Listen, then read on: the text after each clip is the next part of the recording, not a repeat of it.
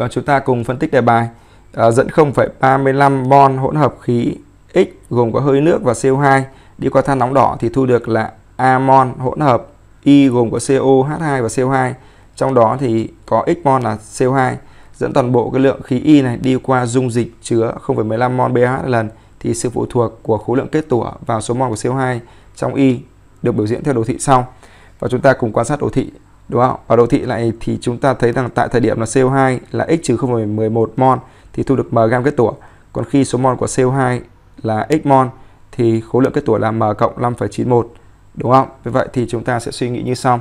Khi ở cái nhánh 1 này, đây nhánh 1 đúng không? Nhánh 1 này thì chúng ta xét cái thời điểm này. Đó. Thì tại nhánh 1 thì mình sẽ luôn luôn có công thức là gì? Tại nhánh 1 đó, nhánh 1 này. Nhánh 1 nhé.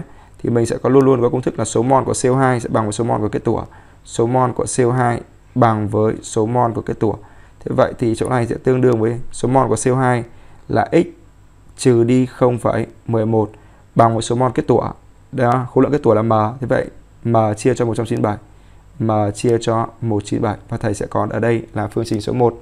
Thế vậy tương tự như vậy thì ở nhánh 2, nhánh 2 thầy viết tắt nhé, nhánh 2 thì thầy sẽ có này.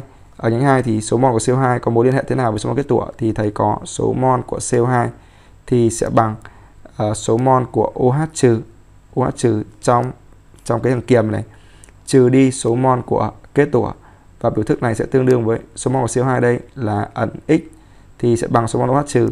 OH trừ đây BaOH lần là 0,15 thì OH trừ sẽ là 0,3 0,3 trừ đi số mol kết tủa.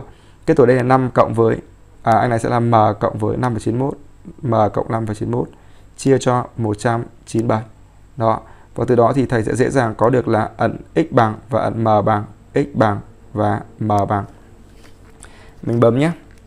Hệ hai chính hai ẩn này. À, anh x nhập x xong anh này sẽ là 1 chia cho 197 trừ 1 chia 197 trừ 1 chia 197 xong.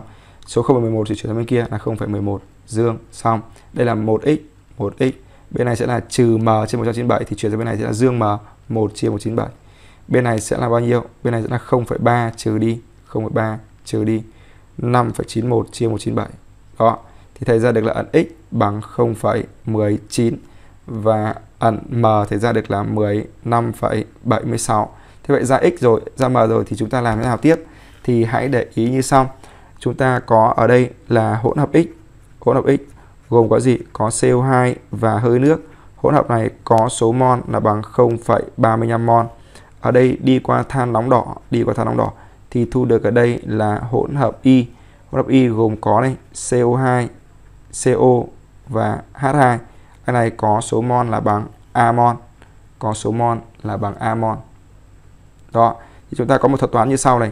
À, chúng ta chỉ việc lấy như sau số mol của CO2 CO2 trong Y này.